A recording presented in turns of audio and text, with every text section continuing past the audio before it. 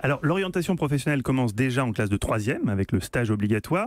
Avec Mélanie Terramant, vous avez créé l'association Viens voir mon taf qui offre à des collégiens de 3e issus de milieux défavorisés euh, ben, l'opportunité de réaliser leur stage dans des entreprises très diverses, hein, de tous horizons, et à des stages garantis sans piston. Comment ça marche? Alors ça, c'est important aussi parce que la 3, donc on parle de la terminale, mais la troisième, c'est vraiment le premier moment un peu charnière euh, d'orientation parce que soit on va en seconde pro, souvent euh, parce que juste on est dans un collège euh, ZEP, on dit maintenant REP, euh, parce que le prof dit qu'il faut y aller parce qu'on n'a pas d'assez bonnes notes et on se pose pas de questions, on n'a Ouais, aucun pas une projet pro. fatalité, on peut faire autre chose. On peut... Voilà, on peut faire autre chose, juste si on sait que tel métier existe, si on a l'opportunité d'être dans un stage intéressant, de se dire moi aussi je peux faire ça, moi aussi si je veux je, de- je peux devenir avocat, médecin, parce que j'ai rencontré un avocat qui a vu mon carnet de notes et qui m'a dit bah oui si tu veux, si tu es très motivé, tu peux y aller. Guy Carlier. Ça veut dire que euh, dans les stagiaires de troisième qu'on va avoir en décembre, il va y avoir autre chose que les enfants des contrôleurs de gestion de la Gardère. Oui, oui, oui, absolument. Là, dans- vous en verrez ici dans les couloirs, il y en aura d'autres.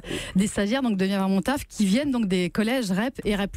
Le principe est tout simple, c'est un site internet. Donc chacun peut poster son annonce euh, si sa DRH est d'accord bien sûr, mais c'est pas du tout un accord, un partenariat d'entreprise.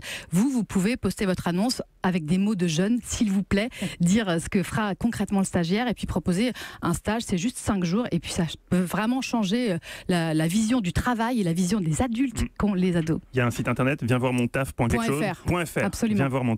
Merci beaucoup.